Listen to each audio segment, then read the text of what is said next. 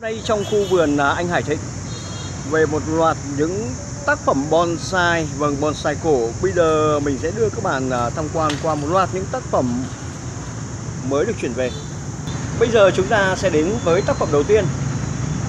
Một cây xanh ôm đá.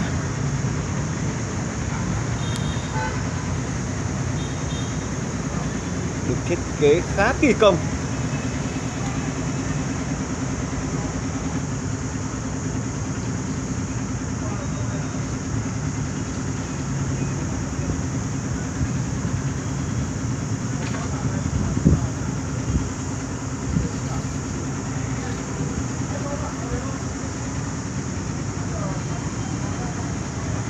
Song thân.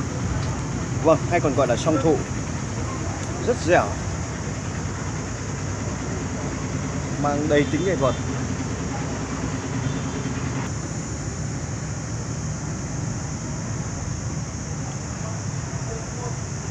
Cây rất già các đường dễ chạy các bạn có thể hình dung.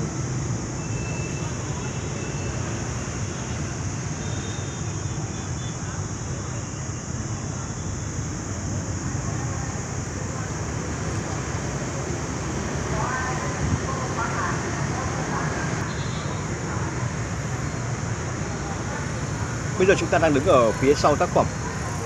Có một cái thân khá uốn lượn.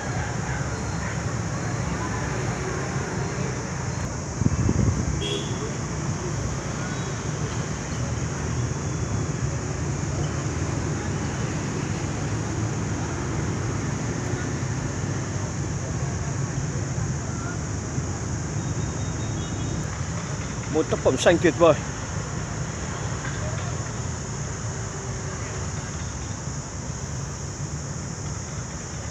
Họ làm chi tiết từng chút từng chút một của bộ bệ rễ này.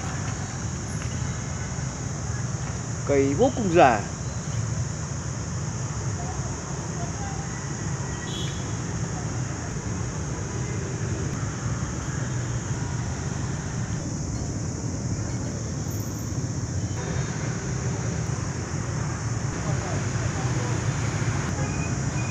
Một tác phẩm vô cùng ấn tượng.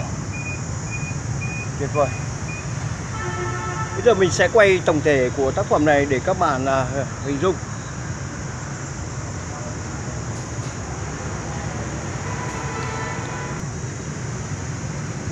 Cây rất già rồi.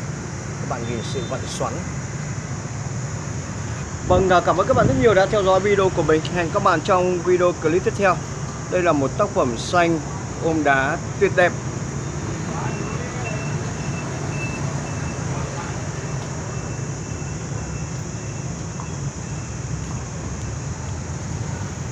Một tác phẩm tuyệt vời có 102